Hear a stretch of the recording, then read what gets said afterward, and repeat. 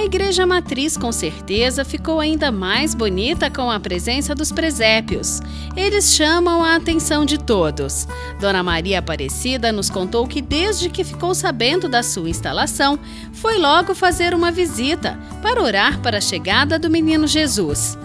Achei o presépio muito bonito, vim fazer oração, agradecer tanta graça que a gente recebe. Representa a nascida de Jesus, né?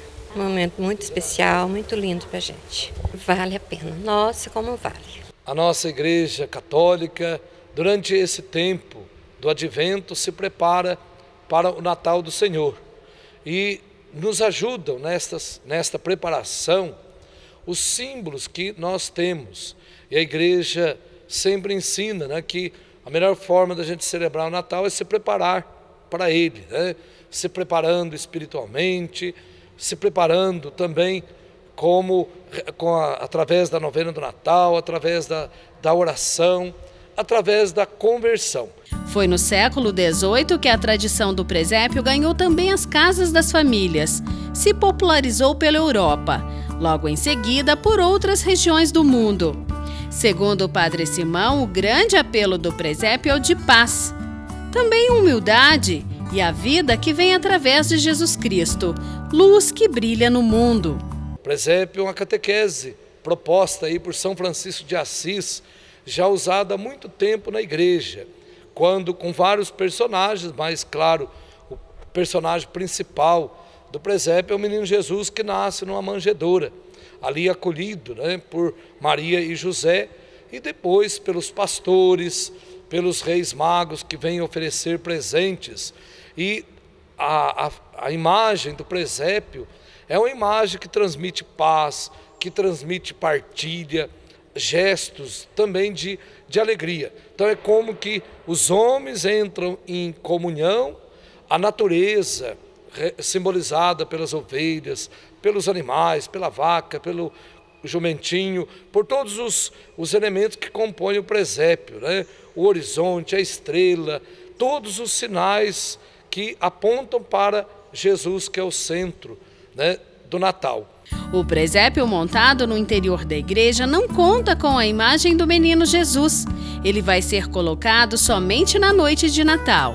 Nós vamos colocar a imagem do menino Jesus no dia 25, na noite do Natal, de 24 para 25, na noite do Natal, onde a imagem será colocada dentro da celebração do Natal, a imagem será incensada né, com ah, o incenso, com a, as orações do povo, nós vamos prestar uma homenagem acolhendo o menino Jesus que nasce. Né? Ali fora nós temos um presépio com as imagens em tamanho natural, um presépio que quer ser também uma simbologia é, para toda a cidade, compondo também esse cenário bonito da nossa praça, o entorno da nossa igreja e também já ali colocamos o menino Jesus como já sendo também facilitando as pessoas que querem tirar fotos, né, fazer uma lembrança, uma recordação deste deste presépio deste ano, né, que nós estamos celebrando o Natal do Senhor.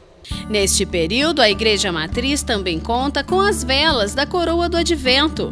Cada uma delas tem um significado especial que lembra a necessidade da preparação para a chegada de Jesus. Elas são acesas durante as celebrações dos quatro finais de semana que antecedem o Natal. Primeiro domingo nós acendemos a vela verde.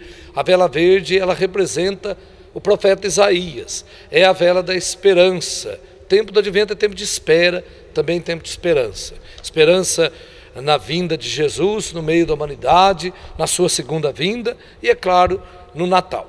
A, a segunda vela é a vela vermelha que vai ser acesa. É a vela que representa, representa o profeta João Batista. João Batista é aquele que anuncia a chegada do Messias. Ele é, é o profeta também que prega a necessidade da conversão. Então, a terceira vela, a vela rosa que será acesa no domingo, terceiro domingo do advento, é a vela da alegria. O tempo do advento não é tempo de tristeza, ainda que usamos a cor roxa ou rosa né, na liturgia da igreja. O tempo do advento, é, sobretudo o terceiro domingo, é a alegria da chegada do menino Jesus. E a quarta vela, a vela branca, simboliza justamente a vida, a vida que Jesus vem trazer, nascendo na manjedoura de Belém. Cônego Simão convida todas as famílias para visitar os presépios e também participar das celebrações das missas. São momentos muito especiais, vividos ao lado do Salvador do mundo. Nosso presépio ficará montado aqui na Igreja Matriz e também ao lado da nossa igreja até o dia 6 de janeiro, o dia que nós celebramos a festa dos Santos Reis. Também durante esse período nós teremos aqui a visita das folias de reis que passam por aqui e vão fazer uma apresentação aqui diante do presépio.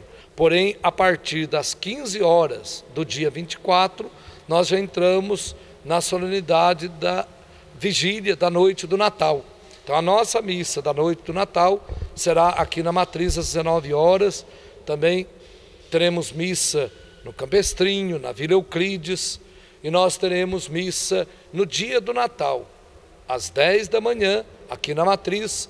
Teremos missa às 9 da manhã na Gramínea e à noite, como de costume, aqui na Matriz, é a nossa missa do Natal.